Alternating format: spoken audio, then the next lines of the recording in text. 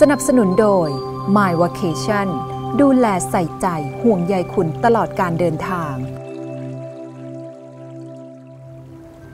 หลวงพ่อครับทำไมพระบางวัดเนี่ยฉันอาหารหนึ่งมื้อ บางวัดก็ฉันอาหารสองมื้อ แตกต่างกันยังไง เรื่องฉันจำนวนมื้อเนี่ยไม่ได้แตกต่างกันครับส่วนมากที่หนึ่งมื้อก็จะเป็นสายปฏิบัติวิปัสสนาหรือปฏิบัติกรรมฐานที่อยู่ในวัดป่าทั่ว ๆ ไปครับ ซึ่งท่านก็คิดว่าการฉันอาหารหนึ่งมื้อเนี่ยเพียงพอต่อร่างกายครับ ทีนี้ที่อยู่ในสังคมเมืองมีเกี่ยวพันกับญาติโยมอืมนิมนต์ไปฉันไปสวด เกี่ยวกับสังคมเมืองทั่วๆไปวัฒนธรรมประเพณี ท่านก็ฉันสองมือ้ออืมแล้วก็เพื่อที่จะศึกษาเราเรียนพลังงานมันมันใช้มากต่างกันครับเอ๊ะหลวงพ่อจากการที่เรามานั่งคิด คือผมคิดส่วนตัวนะคือในในสมัยก่อนสมัยพุทธกาลเนี่ยการตักบาตรก็คงจะเป็นการตักบาตรใส่เข้าไปรวมไปที่บาตรเลยถูกแล้ต้วองแล้วถ้าเกิดว่าในสมัยใหม่อะหลวงพ่อวิถีชีวิตคนปัจจุบันบางทีไม่มีโอกาสไปทำกับข้าวเองเขาก็ไปซื้อกับข้าวถุงมาใส่อย่างเงี้ยแล้วบางคนที่ว่าคือทำกับข้าวเองมาใส่แล้วมามาตักใส่รวมกันอย่างเงี้ยคือเรื่องของบุญเรื่องของวินัยสงฆ์เนี่ยมันมีผิดอะไรไหมหลวงไม่พ่อไม่ได้ผิดอะไร แต่เราต้องเข้าใจก่อนว่าในอินเดียเนี่ย อาหารที่ใส่บาตรส่วนมากมันจะเป็นแผ่นๆนะฮะอ๋อเป็นโรตีเป็นจัปาตีที่เป็นแผ่นครับๆแล้วก็เมื่อเป็นแผ่นมันก็เป็นชิ้นอืมไม่ได้ปนกันไม่ได้เป็นสิ่งที่น่ารังเกียจอะไรอ๋อทั้นทุกวันนี้บ้านเมืองเราเจริญขึ้นเรามีภาชนะใส่ครับ แต่แต่บางวัดท่านก็ฉันแบบสำรวมนะคือตักครับแบบบุฟเฟ่ต์หลวงพ่อแล้วอย่างการที่ปอบอกว่าเนี่ยบางคนบอกผมชอบกินข้าวแบบพระก็คือว่าเอาทุกอย่างมาคุกคุกคุกรวมกันเนี่ย จริง ๆ แล้วพระเนี่ย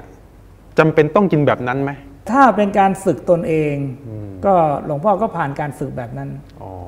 ทีนี้ถ้าท่านรูปใดประสงค์จะฉันอย่างนั้นตลอดไปอืมก็ไม่ได้เสียหาย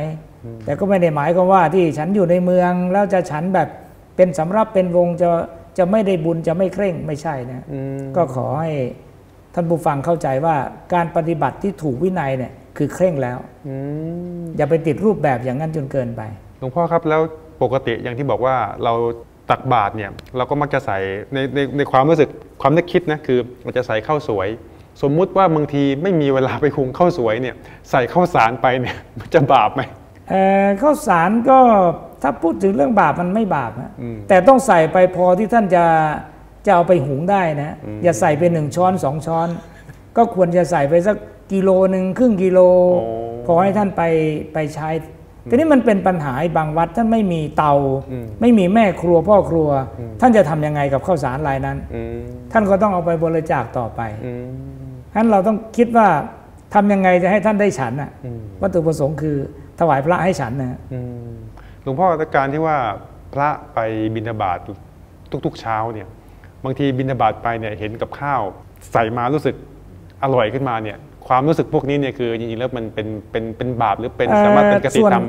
ส่วนมากพระจะไม่มีความรู้สึกอย่างนั้นอ๋อยกเว้นพระที่ท่านบวชใหม่ อาจจะอาจจะมีบ้าง แต่แต่พระส่วนมากเลยจะไม่รู้สึก นี่เป็นอารมณ์ของคารวาสเอง เป็นอารมณ์ของคารวาสคือพระนั่น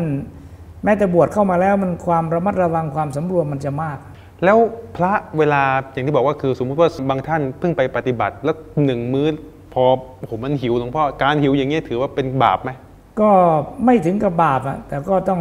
ต้องทนอะอืมเพราะมันไม่ตายอะเป็นการฝึกตนเป็นการฝึกตน แต่ว่าถ้าเกิดว่าไปแอบไปฉันเมื่อไหร่ก็นี่ก็คืออ่าอนั้นผิดวินัยอ่าอะไรก็ตามที่ผิดวินัยจึงจะเป็นบาปอืมเข้าใจแล้วหลวงพ่อขอบคุณครับเป็นพร